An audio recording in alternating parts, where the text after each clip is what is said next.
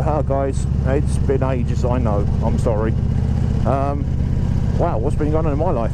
Um, job changes, depression, other medical issues, uh, personal life, relationships, and love, and falling outs, and geez, everything. So, anyway, yeah, no, it's been probably what I, I don't know, maybe even couple of years since I last put my video up. Um, so I hope this video actually works. It's the first time I've actually used my GoPro in like two years. So um, hi everyone. It's uh, late autumn. Well, no, mid autumn. Mid autumn. Sorry, I, I correct myself. Mid autumn, 2019. I would say the English countryside, but we haven't make, got to the countryside yet. We're literally just about a mile up from my house, and I'm still in Maidstone. Look at those lovely youth. Jeez, he's tall. Um, but no, I just wanted to get on the bike, get the GoPro working again, start chatting to you lot. So, since the last, where's he going? Where are you going? Good boy, stay there.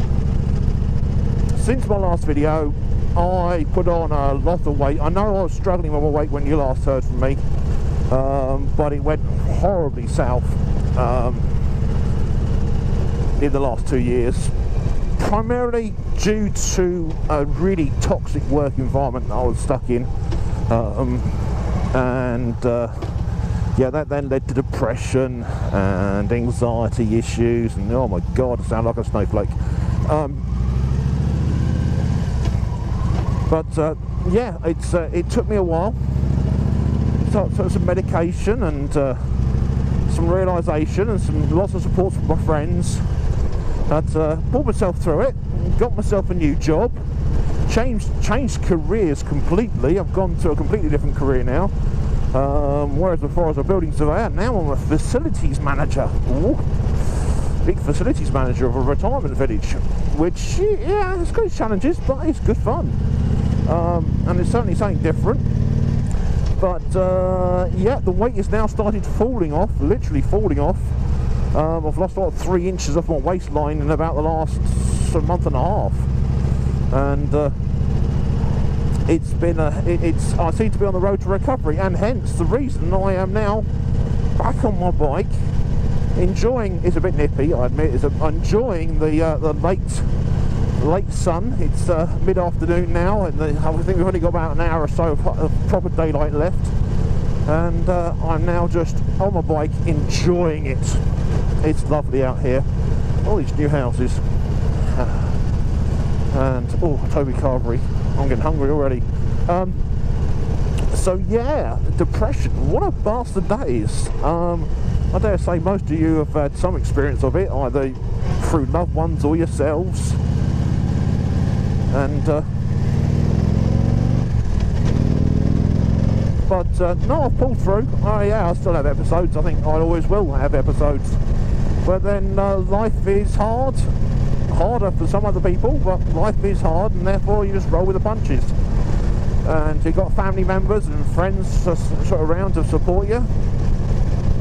But uh, yeah, so uh, I'll pick myself up. Uh, Laura, the, the victory. She's still going strong. She had her service the other day.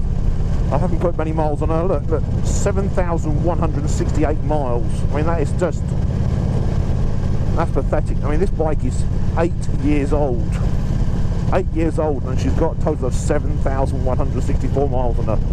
I'm ashamed of myself. But that is going to change. I'm going to get out now more often, even in the winter, provided they don't start throwing the salt and the ice doesn't start accumulating on the roads and uh, and everything will be fine eventually.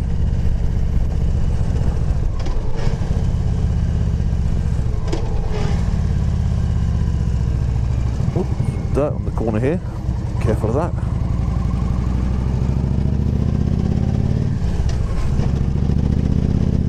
And those of you out there that are wondering how Laura's doing, she is fine. Absolutely fine. Complete bill of health. Good evening, sir. Um, no issues at all. I've had her for six years now, and I still have the original rear tyre and front tyre on her. And I, I, can't believe it because uh, yeah, admittedly I've only done a couple of thousand miles on those tyres, but I would have thought the age alone would have uh, sufficed to say that they, they, they, needed changing, but they don't. Apparently, uh, after my last visit to the uh, service centre, they said there's loads of tread left on the tyres. Oh, that's nice dog.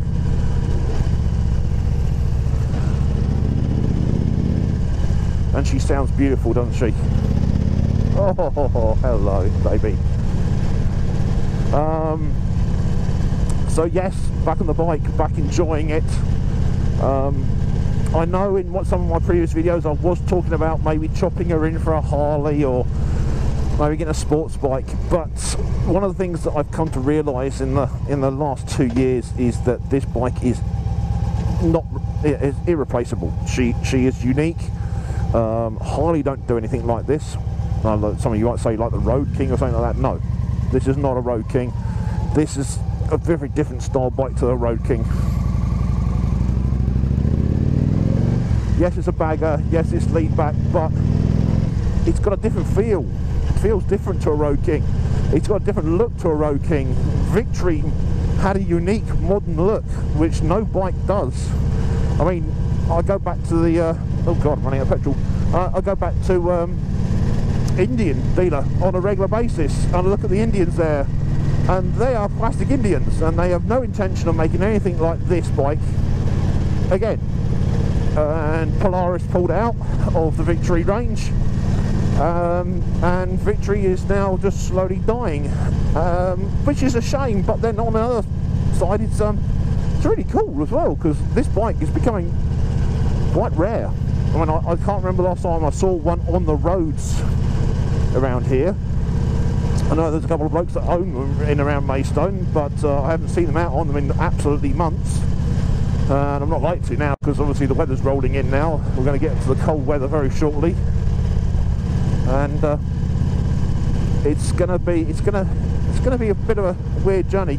So no no I've got no intention of ever getting rid of this bike. I don't think I'll ever replace her. Um, I can see myself getting something to go alongside her.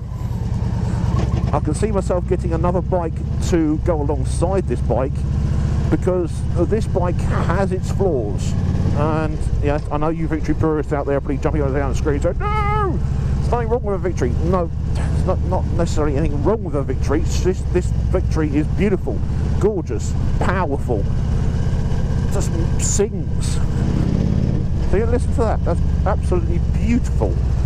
Uh, wish I had a tunnel right now. What an old doggy. And uh, but she's a big girl. Now I know I like my girls big, but she's not practical. Unless you are doing a long haul camping trip or something. In which case, yeah, she might be she might be perfect for that sort of thing. But um, no, I, I need a smaller bike, something less powerful. I know it sounds weird, less powerful, something less big.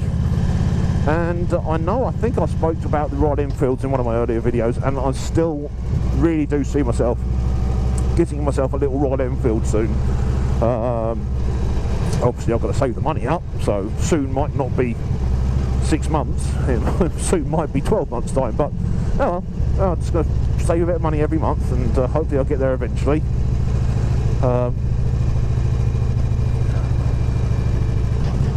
but yeah, no, I, I, I, still I still fully love the Royal Enfield range, and I love what um, Royal Enfield are doing with them. Yes, I know they're made in India, and I think if anything, that's a bonus. I think that's a lovely thing.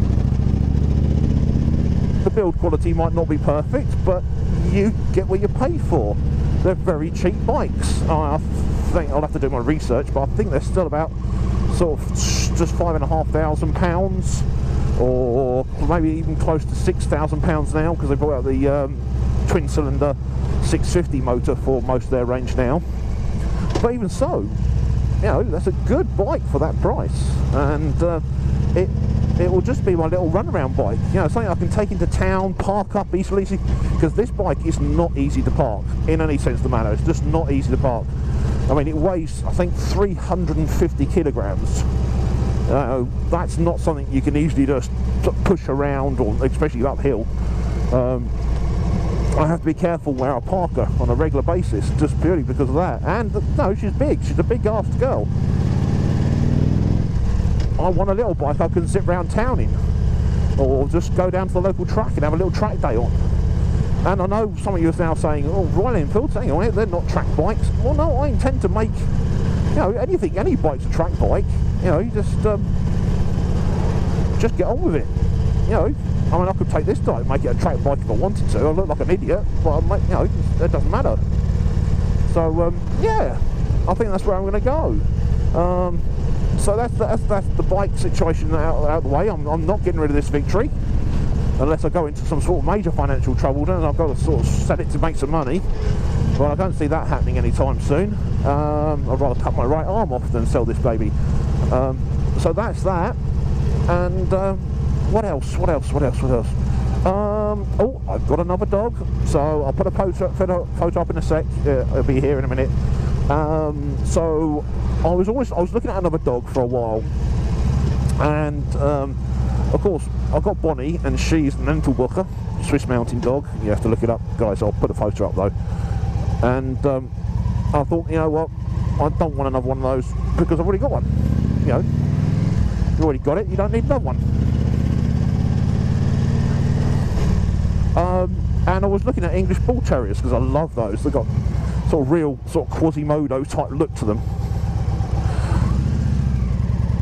But um, and I was, I was giving myself, I was doing my research, I was finding out who the local breeders were and all that sort of thing. And I was keeping an eye on the, uh, dog the, uh, the dog rehoming centres because they often park for rehoming. Um, and then out of the blue, uh, one of my friends in the Entlebucher Breeding Association, that's a long-winded word I know, but um, came to me and said, uh, we got this dog, he's a young lad, and he needs a foster home just for a couple of months until until his new family, his forever home is ready for him.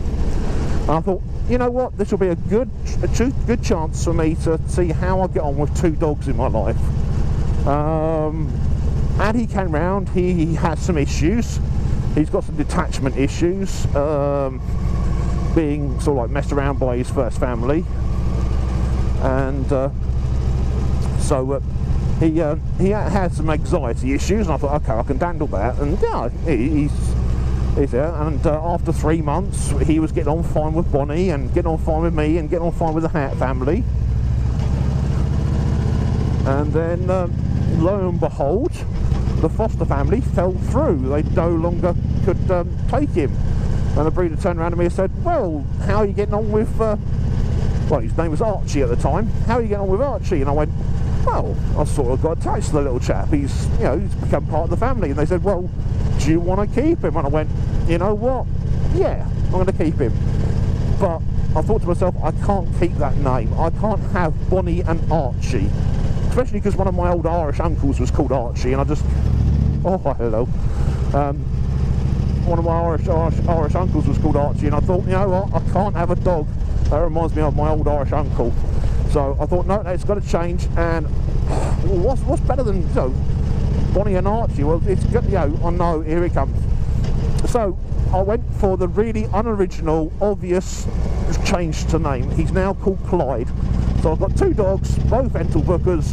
They're both called Bonnie and Clyde now. So yeah, yeah, I've got no originality in my brain at all. But sod it, he's a lovely dog. So yeah, I've got two dogs now, which it, it's um, it, it, makes walking and looking after them, uh, it, it, brings it to a whole new level. It's a whole new level of um, issues that I have to deal with now um, because they fight a lot, they play a lot, and uh, they'll creep up on the bed at night and cuddle up and turn me into an absolute roast potato.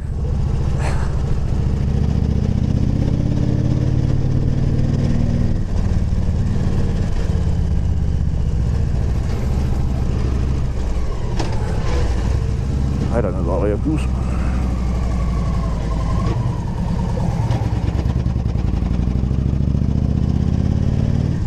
So yeah, got two dogs now.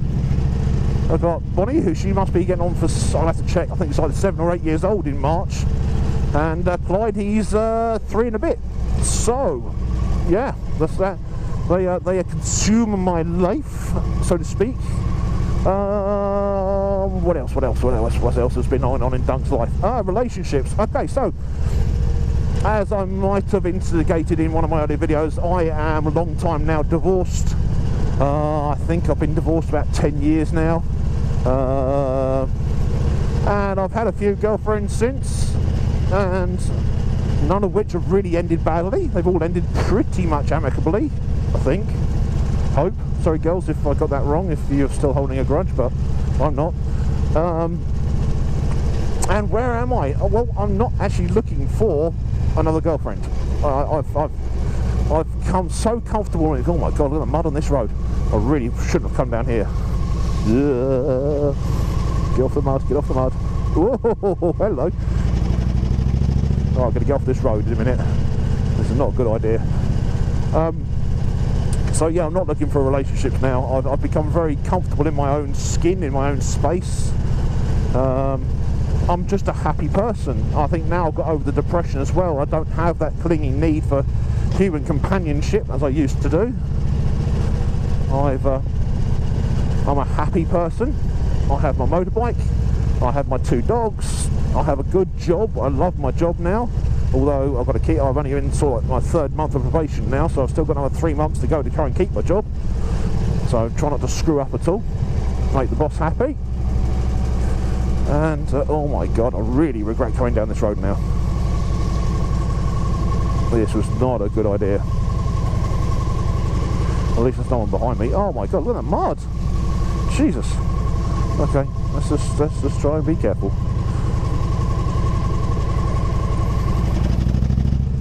And that's me. So I'll, I'll, sign off here thank you very much guys look at that sunset. It's gonna be beautiful.